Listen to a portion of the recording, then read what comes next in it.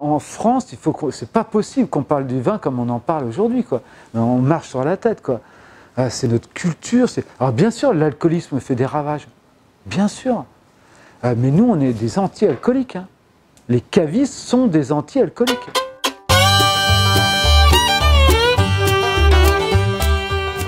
Vidoc, nous, nous sommes spécialisés dans les vins du Languedoc et du Roussillon. On ne fait que ça.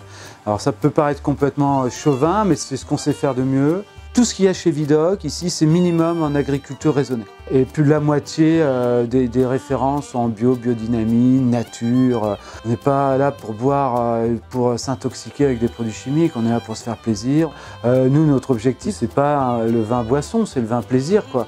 c'est boire moins, mais mieux. Donc voilà, c'est la plus grande région viticole au monde. 12 appellations dans le Roussillon et 37 euh, dans le Languedoc. Mais la, notoriété des vins du Languedoc, elle ne s'est pas faite en France. Elle s'est faite à, l'export. Elle s'est faite à l'étranger. Parce que tous ces gens-là, pour vendre, ils ne vendaient pas en France. Parce qu'en France, euh, si tu veux, un corbière, c'était 2,50 euros. Je crois qu'il y a 1500 vignerons indépendants dans les corbières. Je ne sais pas si tu imagines. 100% des vignes dans, 20 ans ou 95%, il y aura des résistants peut-être, mais, ce sera en bio. Quoi. La vraie fonction du caviste, c'est de transmettre. On est, juste des passeurs. Par contre, nous, tous les vignerons, on les connaît.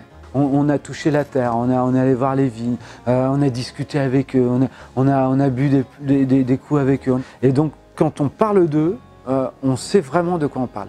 Euh, les, les, guépiers sans sulfite ajouté, euh, glou glou blanc. Je viens chez vous surtout parce que d'ailleurs, parce que vous avez plein de choses à faire découvrir et parce que vous, proposez ce genre de vin. Ouais. ouais, bah voilà, là on est vraiment dans le bio, dans le sans sulfite. Moi, la, pire des choses, là, tu vois, c'est des gens qui rentrent et, qui partent sans rien acheter. Je me dis, je, me suis loupé, quoi. C'est pas possible. Tu, bois les copines de, Triboulet, tu vois. C'est dans les vins nature. Hein. J'adore, quoi. C'est fabuleux. Alors, ce qui fait la chose aussi, c'est que, bah voilà, 7 euros, tu vois, pour la plupart des gens, euh, bah, les gens, ils peuvent euh, commencer à découvrir des vins nature, tu vois. Les pépettes, tu vois, euh, mais ça vaut 6,60 euros, Et c'est que du plaisir. Euh, et le Minervois aussi, c'est une très très grande région euh, viticole, une très grande appellation. Ça, c'est un anglais.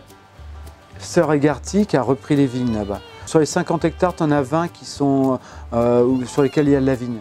Tout le reste, ce sont des champs. Tu as des moutons partout qui s'occupent l'hiver d'ailleurs de, des mauvaises herbes. Dans les terrasses du Larzac, c'est monumental, c'est monstrueux. Alors là, c'est les, plus grands terroirs du, Languedoc, avec, voilà, avec la, Grange des Pères, le Mas Julien, euh, euh, Château Capion, enfin bon, Et puis tu as la clap, hein, la clap avec voilà, des vins comme ça, Château Camplazins. C'est une île à l'époque romaine, la clap. C'est l'origine du vin en France. Hein. il se dit qu'à l'époque, tu sais, en fait, on donnait des terres aux centurions qui avaient bien, qui avaient bien fait leur boulot et qui venaient s'installer dans le coin. et la clap, déjà, on y produisait du vin. Et c'est, voilà, on en avait déjà parlé tout à l'heure, et c'est, euh, pêche redon. Voilà. À l'époque, je peux te garantir que c'était, euh, même il y a 10 ans quand j'ai créé Vidoc, c'était compliqué. Hein. Euh, les gens, ah, les vins du Sud, c'est, incroyable le travail qui a été fait en 10 ans. La particularité du, Languedoc-Roussillon et de Vidoc, c'est que nous, on est à la recherche de, talents. Et tous les talents, les fabricants de vin, les vignerons talentueux, viennent s'installer ici. Il y a beaucoup de gens qui se reconvertissent, des sommeliers, des œnologues. Ici, il peut avoir une vingtaine d'hectares de vignes et il peut euh, faire du vin.